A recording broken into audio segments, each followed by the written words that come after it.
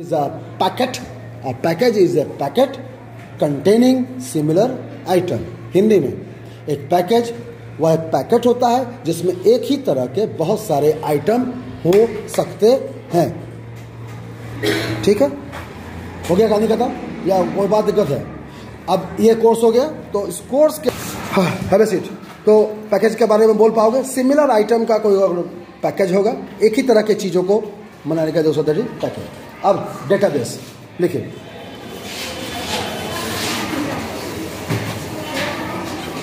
अच्छा एक क्लास शायद पिछले बार में लिए थे शायद या नहीं लिए हैं, बता दो हमको। टेबल डेटाबेस ये सब लिए थे?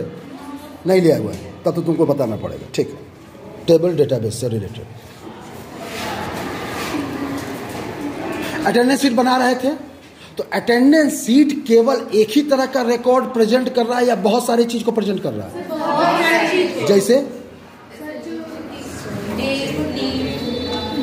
अरे उसे तो उसका कंटेंट है।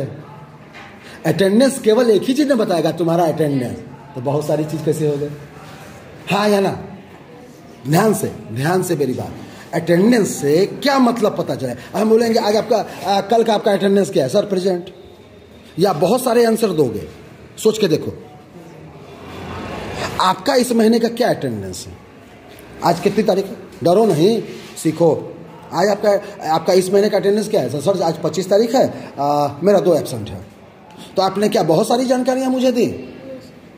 तो अटेंडेंस से कितने तरह का चीज़ पता चला? केवल एक मेरे प्रेजेंट एबसेंट या लीव का इंफॉर्मेशन हाँ या ना? कोई दिक्कत है? तो एक टेबल जब एक तरह का रिपोर्ट दे तो that is called table simple table when a table gives a single और twice reports to you that is table लेकिन एक टेबल या कुछ ऐसे टेबल जो बहुत सारी चीज़ों को रिपोर्ट दे, जैसे सैलरी सीट समझिए सैलरी सीट में बहुत सारी रिपोर्ट्स हैं।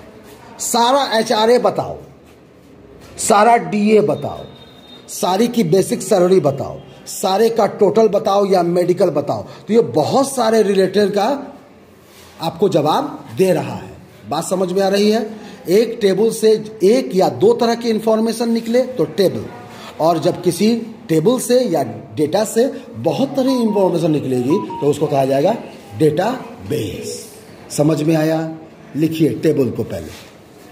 पहले डेटा बेस लिखवा दिए। जो पहले लिख लो, उसी को लिखो पहले उसी को लिखो डेटा बेस